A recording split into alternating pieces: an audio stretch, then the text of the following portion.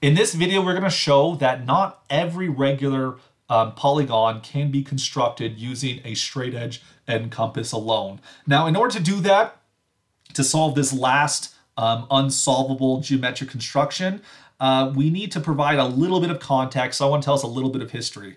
So going back to the 19th century, the so-called Prince of Mathematics, Carl Gauss, was the first to consider the constructibility of real numbers and its relationship to algebra, which is what this whole Lecture 28 has been about in our lecture series. The relationship is due to the solutions to the cyclotomic equation x to the n minus 1 equals 0. This is an equation we have studied previously back in Math 40, uh, 4220 in, our, in the previous lecture series, for which the solutions to this are in fact going to be the complex roots of unity, the complex um, nth roots of unity, I should say. Okay, those are the n roots of this thing. And so Gauss was the first to show that this equation is always solvable by radicals. The, the roots of unity are always solvable by radicals. Okay, he also showed that if n is a prime number and p minus 1 is not a power of 2, then the solutions involve radicals higher than degree 2. Okay, and the solutions of the cyclotomic polynomial and the complex numbers, they coincide with the roots of unity, I already mentioned that. Um, and so now we introduce the, the idea of a Fermat prime. So a Fermat prime um, is a prime of the following form. It's 1 greater than a power of 2, um, although you can argue that the power of 2 is itself a power of 2. I won't, I won't dive into that too much right now. But by the previous result he, I was talking about right here, um, when it comes to these roots of unity, so say zeta is a root of unity, e to the 2 pi i over n, like so. Zeta n is a root to the polynomial x to the n minus 1. Now, uh, it's this is not the minimal polynomial. Uh, that gets a little bit more complicated. We'll talk about that some other time in this lecture series. But what one can prove is that if you take q adjoin a primitive nth root of unity and look at this and look at this as a field extension over q, then this is always equal to phi of n, where phi of n here is Euler's totient function. Uh, this counts the number of num uh, this counts the number of integers less than n, which are co-prime to n. When uh, when p is a prime number, this number is going to be p minus one. All right, and when you have when you have a when you have a prime power, of course, phi of p to the n. This looks like p to the n uh, minus p to the n minus 1, like so. When your numbers are co-prime, a times b, phi then becomes phi of a times phi of b. Again, this happens if the GCD of a and b equals 1. And so using these two these two observations, how to compute totient of a prime power and totient of coprime numbers, you can compute the totient of any integer so long as you know how to factor that thing. Um, and so it comes down to the constructibility of the regular n-gon comes down to this phi function. We because of this right here, if you can construct the regular n-gon, it means you can construct this complex number. Now this is a complex number, right? So we're thinking it we're thinking of it, of course, as cosine of 2 pi over n plus i sine of 2 pi over n. And so this is a this is a point in the plane. So the the real part is the x coordinate and the imaginary part is the y coordinate. If we can construct cosine of 2 pi over n, we can construct sine of 2 pi over the n. So it comes down to can we construct cosine of 2 pi over n? And now as we were considering trisecting um, an angle, we discovered that there were some cosines that we couldn't do. Like we couldn't do cosine of 20 degrees.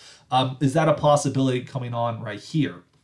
So this, um, this conversation of Fermat primes comes into play because a Fermat prime has the property that phi of p, so you take 2 to the 2k plus 1 here, um, since it's a prime, this is going to be 2 to the 2k, uh, like so. So for phi of a Fermat prime, it's a power of 2. All right. Now, this is true for any Fermat prime. Now, if the Fermat prime is repeated, because of the property we mentioned earlier, you no longer get a power of 2. You get a power of 2 times uh, something else. Okay. Now, if you take a power of 2 itself, 2 to the k, uh, this is going to be 2 to the k minus 2 to the k minus 1. For which this then becomes 2 to the k minus 1. You can simplify it in the following way. So the so if you take um, phi of 2 to a power, that's a power of 2. Um, if you take phi of a Fermat prime, that's a power of 2. Therefore, if you have a product of a power of 2 and any number of Fermat primes, which that could be no Fermat primes, then phi of that number will be a power of 2. And those are the only integers so that their Euler totient is a power of 2. Okay? And so remember with the constructible numbers, with the constructible numbers here, um, if you have a constructible number alpha, if you look at the degree of q adjoint alpha over q, this is always equal to a power of 2. But when it looks, when you look at the uh, the complex roots of unity, you can only construct them with a degree phi of n in that situation. And therefore, if this is a power of 2, this only happens in the situation where you have a product of 2's times some number of distinct Fermat primes. Now, Gauss was made famous because he was the first one to discover that you could construct using a compass and a straight edge the regular 17 gon, um, which 17 is a Fermat prime. Notice the Fermat primes, you have 3, which is 2 plus 1. Um, you have the next one, 5, which is 4 plus 1. Notice here we're just taking a power of 2 plus 1. Um, the next one, 8 plus 1, it's not prime, that's 9. Um, then you take 16 plus 1, that's 17. That's a Fermat prime. Now, and so so Gauss was able to prove that you could take you could construct the regular seven gon. Now, the shapes that we can do, like a triangle, oh, triangle three is a Fermat prime. We can do that. Um, you can construct a square. Well, a square is two squared. That's a power of two. You can construct a pentagon because a because five is a Fermat prime. You can construct a hexagon a regular hexagon here because a hexagon 6 is 2 times 3. That's a power of 2 times a Fermat prime. Okay? Um, you could also construct 12, a 12-sided figure, a dodecagon, because 12 is 4 times 3. Um, we could construct a 20 gon, because uh, 20 is 4 times 5, like so. But 17, of course, was this really cool one that Gauss was able to produce. As legend goes, Gauss had requested that the regular 17 gon be, in, be engraven upon his tombstone uh, because he was so impressed by this result. Now, the engraver of the tombstone, again, as legend, refused to do so because he claimed the, the engraving was too complicated um, to do. So you can look at Gauss's tombstone, Google the picture of it. You don't see the regular 17 gon there, and that's really too bad here. Uh, so re re returning to the mathematics here, uh, if we were to construct the regular n-gon, we need to be able to basically, uh, we need phi of n to be a power of 2.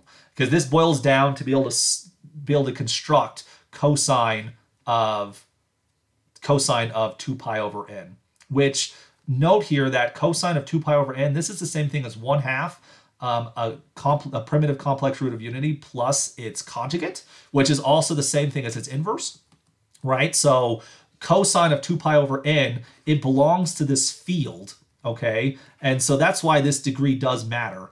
And cosine of 2 pi over n, if you look at the if you look at the degree of the extension, q adjoint a primitive root uh, a primitive nth root over q adjoint cosine of 2 pi over n.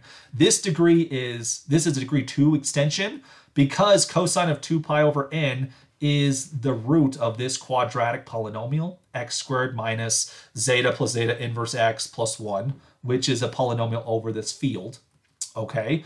Um, for which case then, if you look at cos, uh, q adjoint cosine of 2 pi over n as an extension over q, then the degree of that extension is phi of n over 2. So the constructibility comes down to is phi of n over 2 a power of 2. And the conditions that Gauss had mentioned earlier are exactly that. Your number n needs to look like some power of 2, and you have some products of distinct Fermat primes, which again, that product could be empty.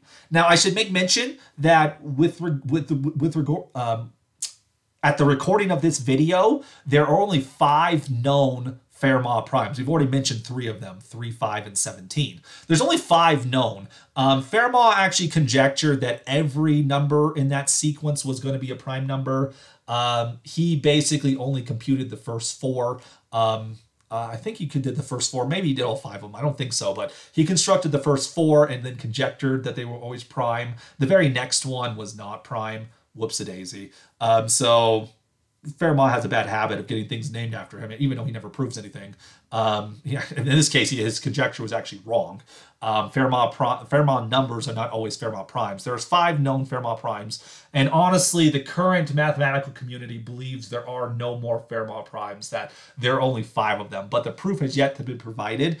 Um, and so it's appropriate to end this conversation about impossibilities with yet an open theorem. How many regular n-gons can you can you construct? Because we don't know how many Fermat primes there are, so we actually don't know how many n-gons we can construct we know it has to have this factorization, but how many primes are there? How many Fermat primes?